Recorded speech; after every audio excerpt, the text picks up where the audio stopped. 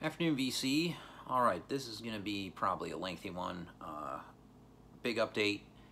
Some VCLT here. Uh, got a record convention dig from this morning here. A few things that came in um, and a stop at Lunchbox. So uh, quite a bit going on with records this week as compared to last. Um, first up, I got this really really cool VCLT package from Jason out in, from Southern California. Uh, channel is Hackman377. Uh, I'm sure quite a few of you are aware of his channel. Um, he shows a lot of great jazz, uh, a lot of great Brazilian, a lot of stuff I'm not familiar with. Um, and he's always digging. Um, and he's, you know, not just digging in record stores. He's really out there digging for records. Um, it's really cool. Seems like a really nice guy, someone that would be cool to hang out with.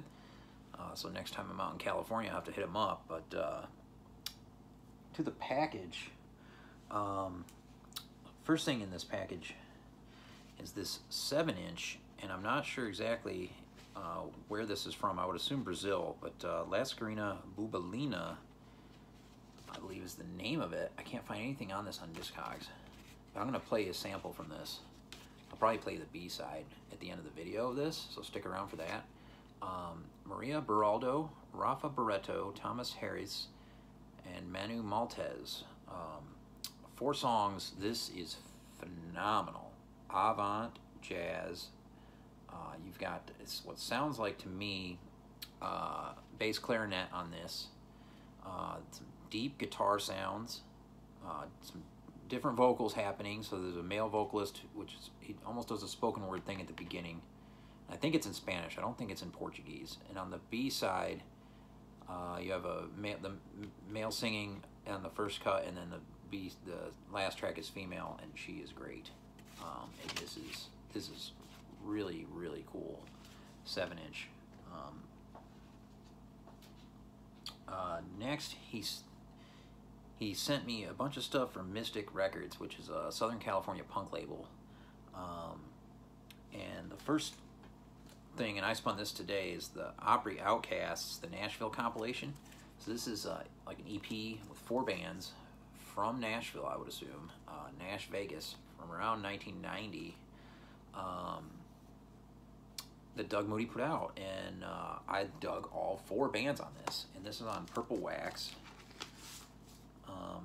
good heavy stuff from the 90s. Um, and it's not, none of this is really punk. Uh, it's all on the heavier rock, you know, more on the rocking end of things. Um, Mayday on the first side, that band, they have a song Heavy as Hell. Vocalist sounds a lot like Mark Arm from Mudhoney, which is really cool. And I really dug Word Uprising, that band on the B side and the song People. Sounds like a band that could have opened for us back in the 90s. Uh, well, I say us, I mean Five Times Down, the band I used to roadie for. But um, yeah, this is pretty good. Here's a band on the A side, Rednecks in Pain. What a great band name. Song Scatterbrain. Good stuff. Um, very stoked with that. Um, also on Mystic Records, he sent this uh, split EP. Uh, so you got Modern Enemy on the A side and Fatal Error on the B side. Modern Enemy was they're good, but they're not not great. Um, the vocalist is a little plain for me. I think I'd probably appreciate these guys more if I saw them live. But Fatal Error, the tempo picks up. Uh, Modern Enemy is more of a hardcore band, whereas Fatal Error is more punk. And yeah, really good drummer, better guitars. Um, there's, a, I'll show you what, show you the labels and everything. This is on red wax. It's got a really cool label. Yeah, the Mystic label is really cool. Um, but yeah, the song, third song, I Remember Drugs. Great freaking song. And actually, it'd be even better if it didn't have any vocals, because it's just the musicians are killing it on it. They do a cover of Rise Above from Black Flag, which is a good version of it. So yeah, I really dig Fatal Error on this. So yeah, into the punk collection this goes. And then the thing that was really cool that I didn't know he was sending um, was these books from Mystic Records that talk about the label and show a bunch of the all the different covers and stuff. And this is this is actually autographed by Doug Moody, the owner of the label. In here, there's a personalized note to his friend about their 50th anniversary. I mean, this is really cool, and they, they put out a lot of bands that otherwise wouldn't get put out. Um, there's a lot of cool photos and flyers and album covers and things like that in here to explore. And he sent a second book too of Mystic Records. Um, so these are really cool. Um, I'm enjoying the hell out of this. Doctor No, you know. Um, so thanks, man. Um, really cool stuff. And then, last but not least, in the package was this record, and I love this. This is Anka Combo Ubi Sunt on Goma Gringa Discos from Brazil. Um, I think this got released. I'll have to look at it here, but um, it's a really nice gatefold, and it's uh, got this little kind of book middle here, but you get to see the sax player and guitar player there. Um, this is Avant. The B-sides really gets free, free jazz, uh, but with a Brazilian flavor. There's a bit, not a lot, but a bit of folk Brazilian in it too, uh, with the guitar. Um, but it's just on plain, plain black wax. But um, I really, really like this record. Um, the beginning, it's a little bit busy on the guitar for me, but once they settle in, holy shit, yeah, great sax playing on this. Uh, phenomenal, in fact. What do I got in here? Oh, there's some, oh, there's some uh, Goma Gringa stickers in there as well, and with the record uh, that he sent. Yeah, I had no idea about this label, no idea about this group. Uh, so this is absolutely fantastic. Um, highly recommend checking that out if you can. The seven inch was not on Discogs. This this was on Discogs, man. It's like one of uh, 250 copies. So that was very nice of Jason to send that my way. Uh, next, we have just a few that have come in the door. Um, the reissue of Infinity by Khan Jamal on Jazz Room Records. This came from Dusty Groove. They had, their sale is still going on. They had a lot of stuff marked well off. Um, and originals on this are insanely priced, especially how with how short this record is. Um, like 16 minutes aside, 16 plus minutes aside. Um, and it's more straight ahead stuff, but Byron Lancaster's on alto, Sonny Murray drums, Dwight James is also here on the kit. Uh, of course, Khan Jamal and Vibes and Marimba. Um, yeah, it's it's it's still a really great record. Um, so I was happy it got reissued cheaply. Next uh, is a label I'm starting to collect. Well, it's not even a label; it's private pressings. Um, the artwork is all done by Eric Peng. Uh, this great uh, drummer pianist from Germany, and this is uh, TTT Aspects of the New York, New York, New York Situation. It's the double LP. This took a long time to get here from Germany, so this one's been out in mail world for a while. Wasn't sure if it was going to come, but here it is, finally. Um, Frank Wright is on the sax, Butch Morris cornet, Mr. Walney on bass. Um, yeah, Air Pink on piano and flute. Phenomenal free jazz. Um, this this stuff is, I think, early mid '80s. Um, not a lot of information on some of these um, being private pressings, but uh, a nice little pocket of records. Uh, some of this stuff is really mind blowing um, and phenomenal. It's just some phenomenal work from these musicians. Um, a whole little period of stuff I had no idea about till recently. So happy to get my hands on some. next, this came from, oh, let's see, where it come from? Oh, this t-shirt place up in Raleigh. They sell records too for certain bands, so they sell Boris records. This was uh, their album 1985. Uh, I think this was recorded around 2011. Um, not released till 2019 on Fang's Anal Satan. What A great label name. Uh, but this is more rock, pop from Boris. Nothing too crazy. Um, so there's that one. Great cover. Love the cover on that. Uh, let's see. Next Thursday night, went saw The Hu from Mongolia at the Fillmore.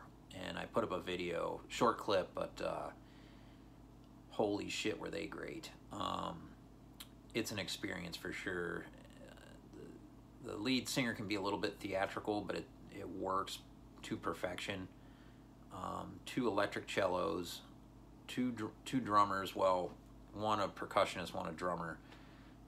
Percussionist playing the really big, heavier drums, but um, they get they got a lot of guitar sound, and it's it's it's really good. So I did grab their CD from them. Um, yeah, Gereg is the CD. Uh, this has got bonus tracks on it, I guess, on this version. Um, so yeah, The Hu. Check out that video I posted to them. God, there, that was festive. Um, great gig. And after work, Friday, I uh, went into Lunchbox to get the new release from Cave In. So we've got uh, Heavy Pendulum. So I grabbed the CD and the vinyl of this, and the CD is on this gold CD. Great band from Boston, been around forever. Stephen Brodsky, he's in every band right now. I mean, he's in, he's playing with everybody. So he's playing with Quicksand, Converge, Cave In, Old Man Gloom, uh, Mutoid Man. He's he's he's a busy man. Um, here's the record. Uh, limited to a thousand translucent gold. So I grabbed that. And then I got two used items, cheap. Uh, Jimmy Smith Live, Root Down on CD. Have the vinyl, I have an original, but uh, this is for the car. And I got this because the guitar player absolutely slays fools on this. Uh, Arthur Adams, my God. Some of the sickest guitarists, or sickest guitar I've heard on a record. Uh, yeah, ever. It, it, it's and Jimmy Smith is no slouch on this either. So that that was like five bucks. And then I did find this in the used uh, METZ live at the Opera House. Great band out of Canada, heavy, a lot of groove. Um, I don't like their earlier stuff, but the Atlas Vending album, which they were touring, is fucking great. And this is on there. This is one of Scott of Lunchbox's favorite bands. So then we got METZ live at the Opera House. That was cheap. Let's see. Uh, Dylan from Noble got in touch with me. He is starting to get in a bunch of stuff from Zambia, from Africa, and it's just insane. So this is a record that he's had an original of for a while. I was there when he got it, and he showed it to me and played it in the shop, and I dug it. It's real funky. It wasn't like their Zamrock records. Um, it was different, and I dug that. So I'd always kind of had it on on the want list, and it rarely comes up. If it does, it's somewhere overseas or in Africa, and condition is dicey at best. So this is one I was probably never going to order. He got three copies from this dude from Africa, so uh, I ended up getting one. Uh, moving on, on Shed, an original. Um, and the record is, I'd say VG, and the record covers definitely VG minus, probably more like G good plus, I'd say on the cover. Um, but that's just what you get with Zambian records. This is this is on the funkier end of things, but it's it's a great one from Witch. And he's got two more copies of that up there. Um, So that brings us to today's record convention. Didn't have high expectations. I usually don't. I know there's one vendor I'm pretty happy to see every time I go there. He's from South Carolina. This guy, I think his name's Mike or Michael. Um, older guy, kind of a hippie looking dude, and he's he he has great stuff. Um, John and I always find good stuff from him when John when John goes with me. Um, and then there's the guy that runs it. I always usually grab something from him. Um, but they had a couple new vendors today. One had a bunch of crazy rare psych on the wall. Was all super pricey, way way out of my range. Um, and there was the the other the younger guy. He had a lot of crazy jazz on his wall, which I think Dylan was going to get his hands on anyway. Uh, so that was way out of you know, cool to see, fun to fun to look at. Um, but the South Carolina guy, he brought his uh, 45s, and he, he usually doesn't bring his 45s at all. So he had his 45s. So I looked through them, and I did find two. Um, and I got uh, the Rolling Stones Painted Black, the picture sleeve on London. So this was a really cool one. Um, probably my favorite song from the Rolling Stones. So there's that gem. And also this, I'm not sure what this is. I, I just got in the door um, not that long ago. The Stooges Open Up and Bleed. And this is on, uh, what is this? It's on green wax. I don't know. This could be a boot or something. I don't even know what this is. But, uh, so there's that. I grabbed it. It was cheap, so I thought, what the hell? It's the Stooges. You can't go wrong. So I grabbed that. Um, in the punk section, he had Minor Threat Out of Step on Discord. Uh, this is an original, so this was a really great find. And because it had some damage there on the corner, I was able to get a really good deal on that. And then he also had this record cheap, uh, Charge GBH, Leather Bristle Studs, and Acne. So some great punk here. Um, I think this is an original copy of this as well. So I was happy to grab that from that guy. And then the young guy, the, the new, the other vendor, I w I wasn't, hadn't seen him there before. He had the crazy jazz wall, but he had this in the blues section. Uh, Mississippi John Hurt folk songs and blues on the Piedmont label. Um, not a label you see every day. Um, and the reason I grabbed this was because of how nice the vinyl is as far as being a record from 1963. It's in pretty good shape. It's dusty, it just needs to be clean. But other than that, there are no scratches on this thing. So, um, yeah, I mean, it doesn't look like it's been played much at all.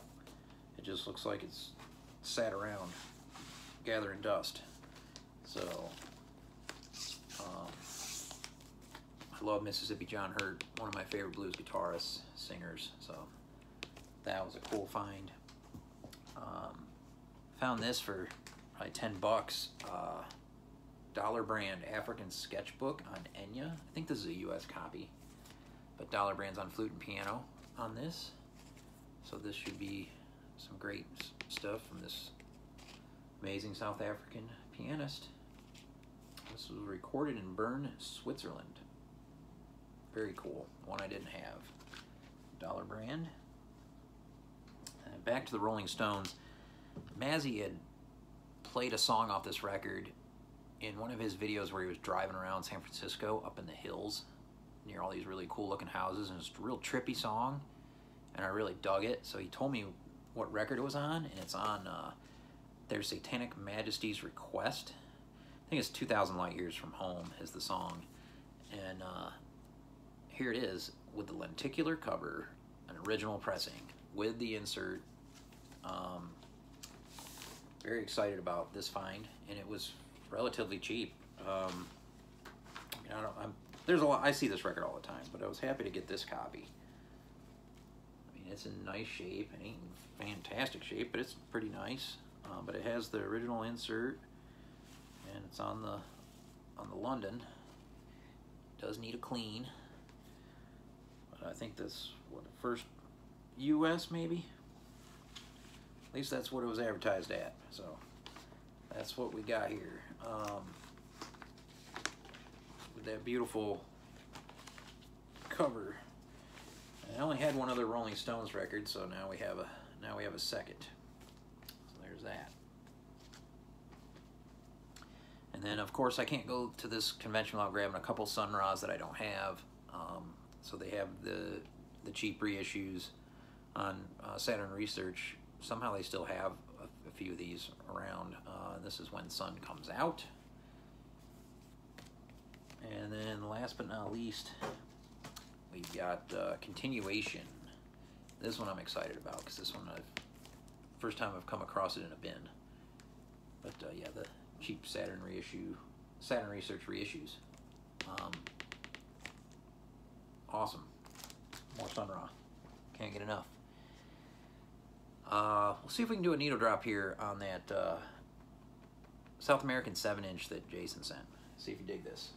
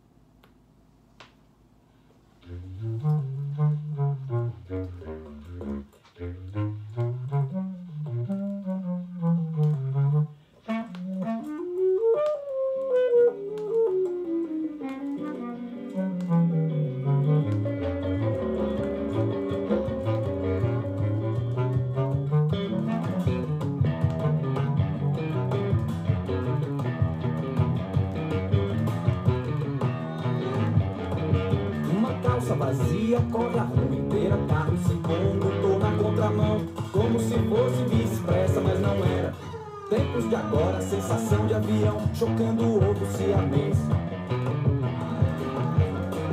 Um cabide pelado, meio injuriado, uma cueca se descontrolou e se atirou contra a calcinha de rendinha.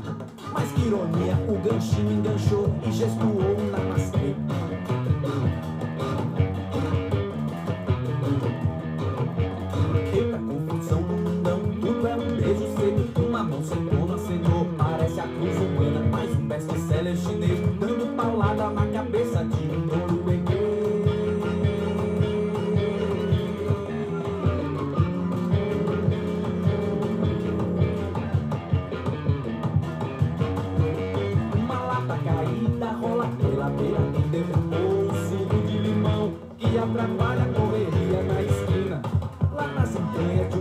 marrom Um lutador de karatê